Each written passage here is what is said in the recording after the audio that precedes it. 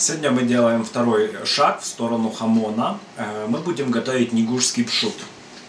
Э, кто был в Черногории, наверняка, ну не только в Черногории, на самом деле все Балкан, во всех балканских странах готовят пшут. Пшут это в переводе с итальянского, ну с итальянского вообще прошута, это окорок. Вот. Пшут э, на каком-то из э, балканских языков тоже обозначает окорок. Э, ну и, собственно говоря, практически в Сербии, в Черногории, в Хорватии, в Албании, везде готовят пшут. Но самый такой известный, наверняка, все-таки негушский пшут, который готовят в селе Негуши в Черногории. Практически все село занято вот в приготовлении этого негушского пшута. И, собственно говоря, это является одной из визитных карточек Черногории. Мы взяли свиную ногу, вернее часть свиной ноги. Вот таким вот образом она выглядит. Это молодой достаточно поросеночек. А, вырезали из нее косточку. Ну, потому что неохота с косточкой готовить. Мы будем использовать э, сетку, специальную сетку для вяления. Вот, поэтому вырезали из этой части ноги, из этого окорока косточку. Ну, то есть вот так вот выглядит сам окорок, только здесь еще была кость. Э, и первое, то есть готовить мы его будем несколько этапов. Вообще э, несколько слов расскажу, чтобы вы понимали, потому что процесс длительный, как бы как он готовится. Если мы готовим из целой ноги, не вырезаем косточку, так как я, то мясо надо еще прошприцевать рассолом. Какой состав рассола, я напишу в описании видео. Если мы готовим из разрезанной э, ноги, ну вот так как я делаю, то первый этап у нас будет сухой посол, второй этап мокрый посол, э, потом мы повестим э, наш окорок компрессионную сетку, э, будет этап прессования, э, потом этап копчения и потом этап уже вяления. В общем и целом процесс займет около трех месяцев. Ну, собственно говоря, друзья, на первом этапе нам надо это... А, кстати, почему я еще сказал э, сразу, что второй шаг, э, второй шаг хамону. На самом деле хамон, э, целый, э, целый свиной окорок, то есть ну, полностью вся нога, приготовить достаточно сложно. И мы делаем э, промежуточные эксперименты с вялением мяса. Естественно, э, каждый рецепт, который я предлагаю, мы его уже пробовали и делаем как минимум второй раз. вот. А, то есть э, первый, первый шаг хамону у нас было копала или капокала. Э, можете посмотреть видео на нашем канале «Вяленая свиная шея». Результат получился потрясающий, с удовольствием слопали ее, очень понравилось. Ну вот второй этап э, это пшут, негушский пшут. Делаем его по классическому рецепту, так как его делают в Черногории. Но, как я уже сказал, единственное, единственное отличие – Хотя э, там тоже делают, вырезая косточку, но в основном именно вот в негушах э, делают на косточке. Но мы косточку вырезали. Итак, друзья, первое, что мы сделаем, это засолим наш окорок. Для этого я использую контейнер, чтобы разложить его. И по поводу соли вернее, по поводу состава. На каждый килограмм мяса э, мы взяли 25 э, грамм поваренной соли, э, 20 грамм э, нитритной соли с содержанием нитритного, нитрита натрия 0,4-0,5% и 1 грамм сахара. Но опять же таки все пропорции э, я напишу в описании видео. И берем эту нашу ножку и хорошенько ее засаливаем. Если вы готовите из целой ноги, не разрезанной, тогда из точно такой же смеси делаем концентрированный рассол, то есть делаем смесь, делаем из нее 16% рассол и этим рассолом хорошенько шприцуем ногу.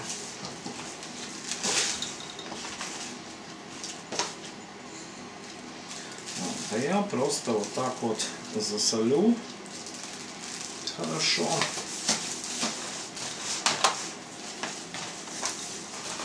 Везде качественно втираем,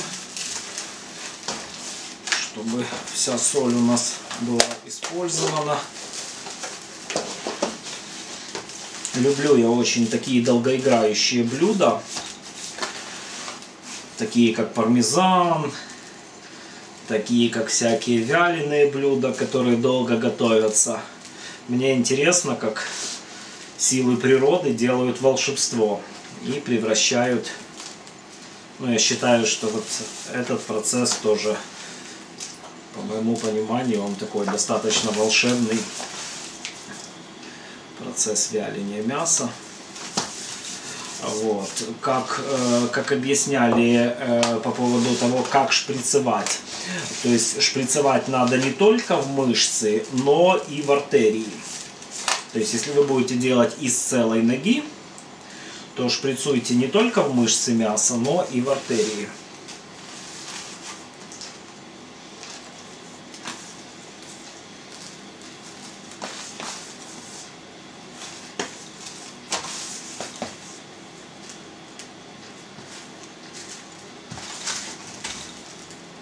Хорошенько, чтобы везде наша соль попала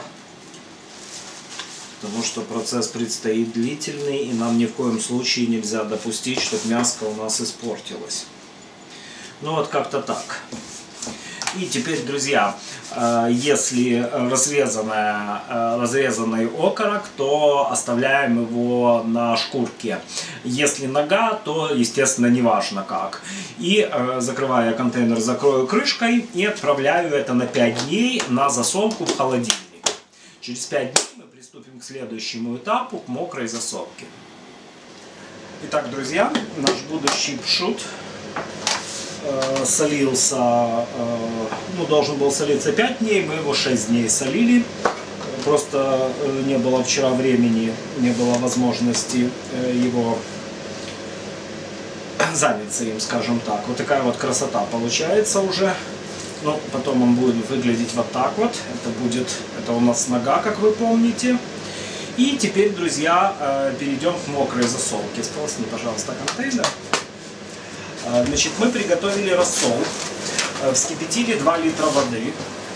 Но он уже готовый, я не стал его готовить на камеру, сейчас расскажу. Вскипятили 2 литра воды.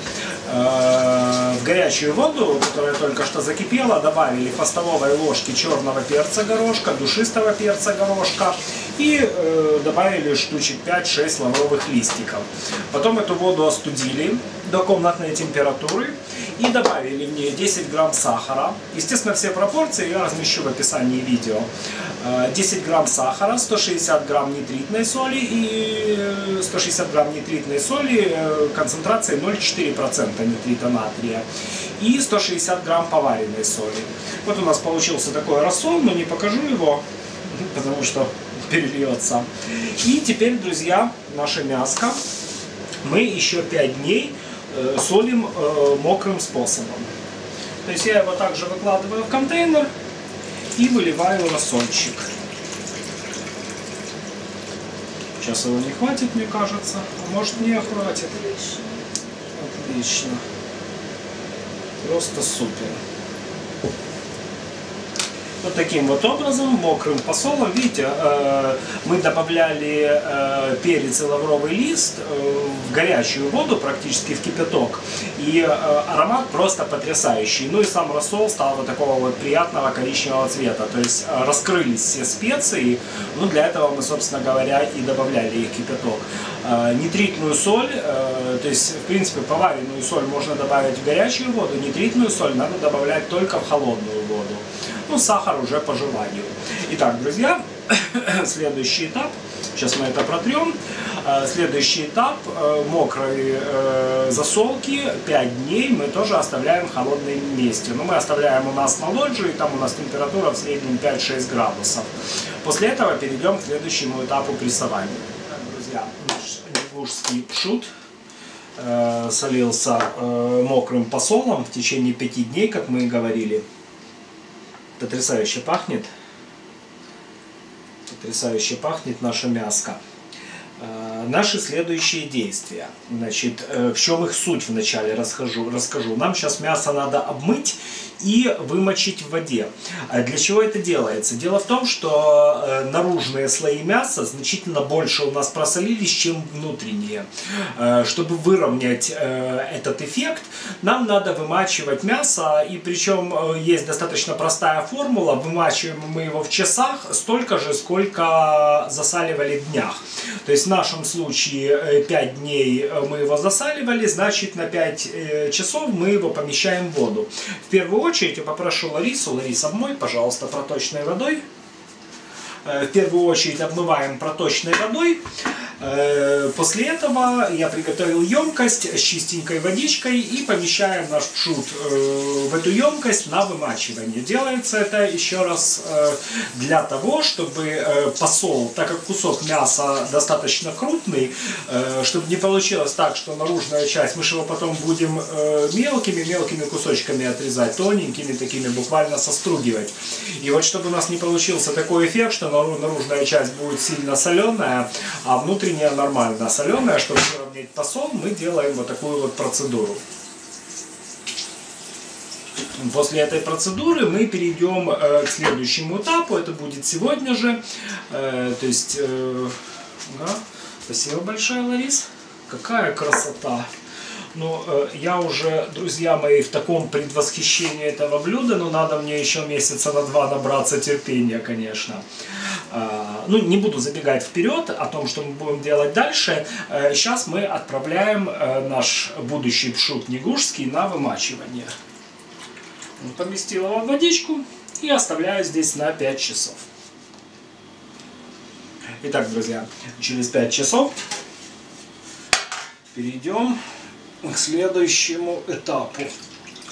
Наша мяска э, вымочилась хорошо. С него весь лишний сол вышел. Сол вышел. Ему сказали так, выходи сол. И сол вышел. Теперь промокнем его.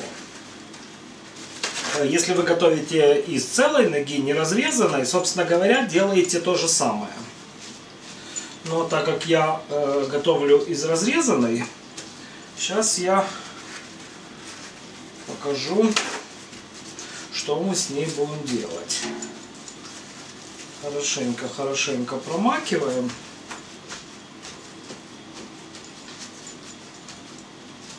Вот такая красота. Следующее, что мы будем делать подобное, это уже будет хамон.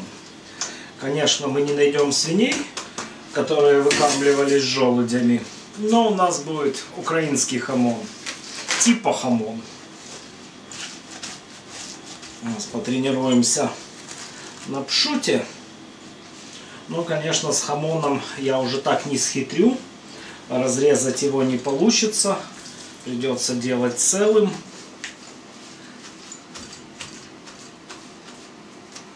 Смотрите, какая красота, а? Так, э, друзья, сейчас ответственный момент. А, для того, чтобы эту ногу свернуть назад, в магазине Ем колбаски я купил э, сетку.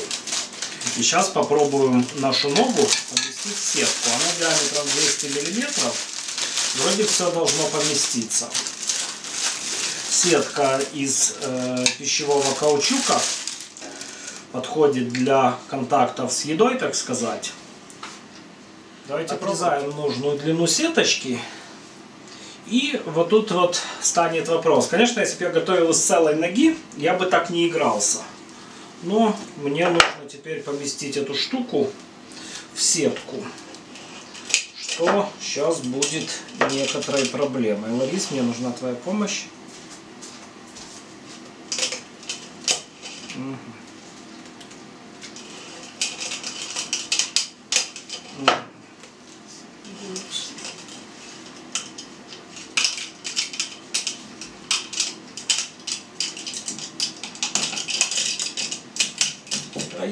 Сейчас здесь слезет.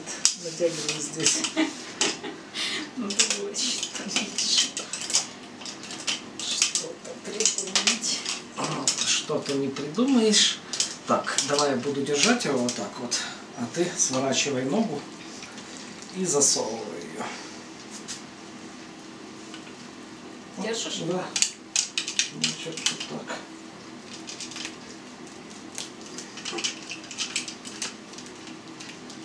Давай вот так вот. Нет. Я не выдержу. В общем, такие у нас, друзья, танцы с бубнами.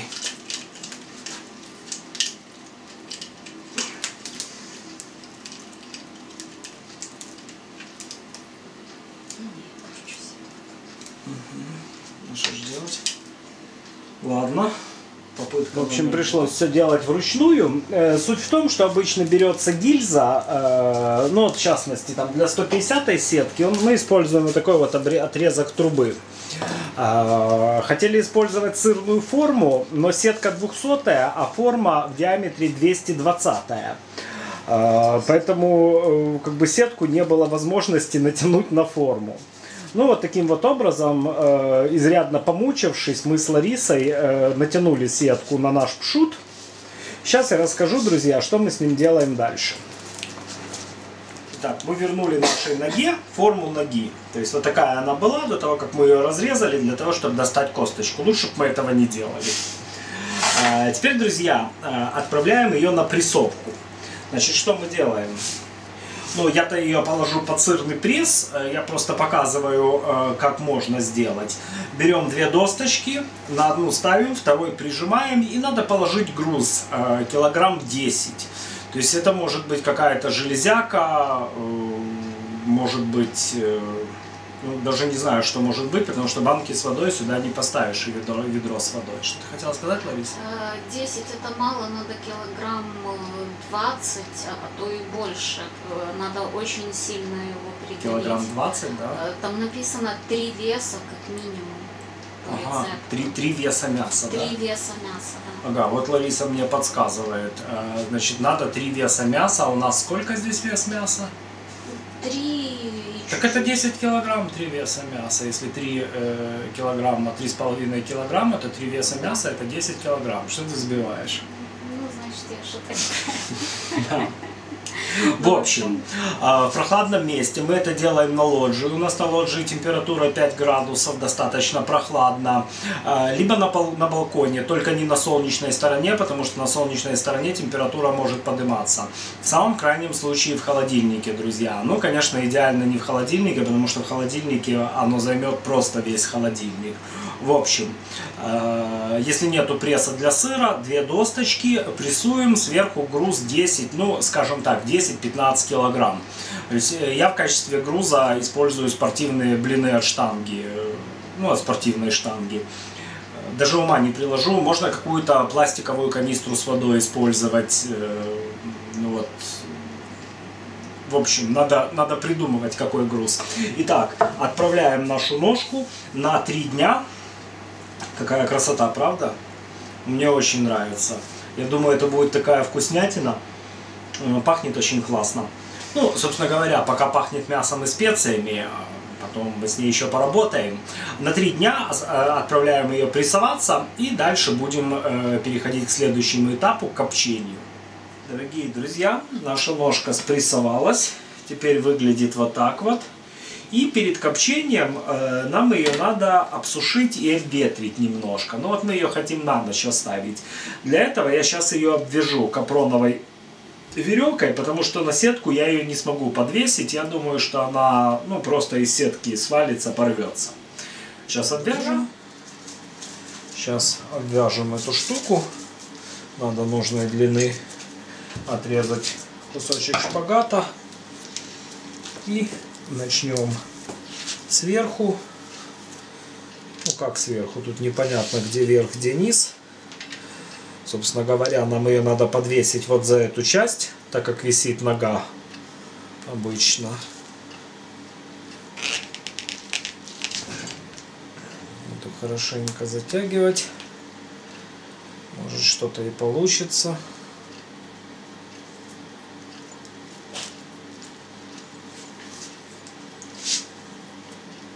Как-то не по центру у меня получилось. Теперь уже по центру.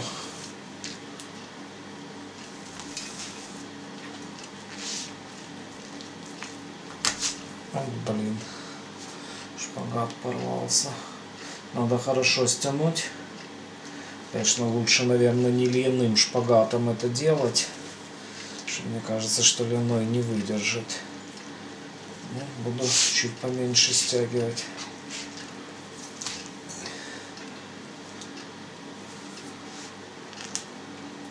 Чуть поменьше стягивать.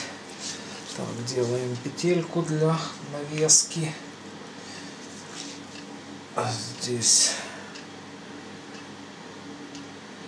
как же его завязать? Да, и пропустить. Я же хочу петлю здесь сделать. Так, здесь сделаем вот так вот петлю. Еще будет прикольно, если этот шпагат не выдержит в процессе сушки.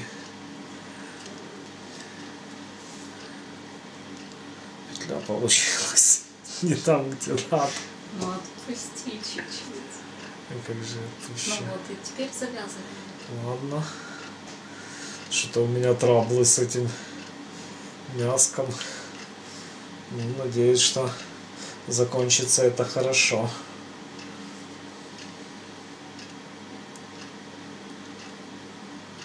Узлы никогда не были моей сильной стороной. Я перед каждым восхождением сажусь и альпинистские узлы выучиваю. Вот, Лиза, зачем ты кресло портишь?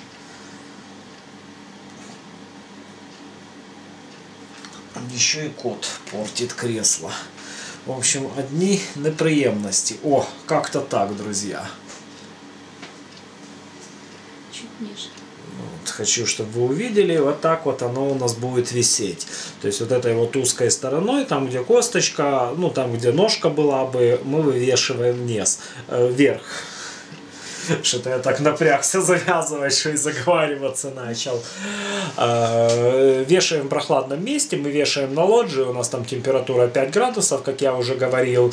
Вешаем на ночь, чтобы мясо хорошенько обветрилось и обсохло. А завтра приступим к копчению.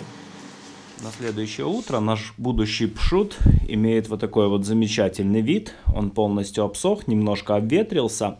И можем приступить к общению. Сейчас перемещу его в коптилинку. Переместил я пшут в коптилинку, установил температуру 35 градусов. Э, Будем коптить. Ну, у меня тут, конечно, еще много всяких ништячков коптится к Новому году.